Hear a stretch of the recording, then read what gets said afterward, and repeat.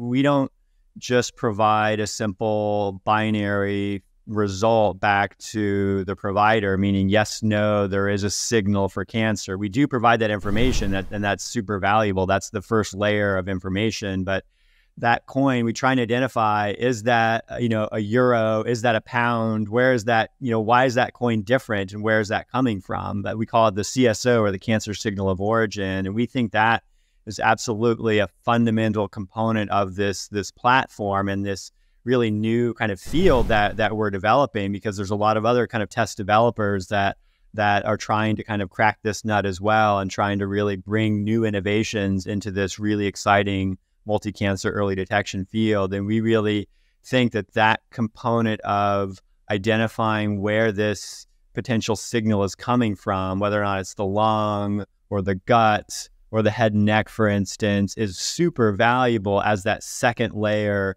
of information to the provider so that they don't have to do pan scans and they don't have to go on a broad diagnostic odyssey to try and find where that signal is coming from and then lump it out, do surgery or radiation, or try and actually remove the tumor. Um, we actually give that CSO, that cancer signal of origin information back as a second layer of information so that the the next diagnostics stage is more targeted. And we think that's really a fundamental piece of, of this field.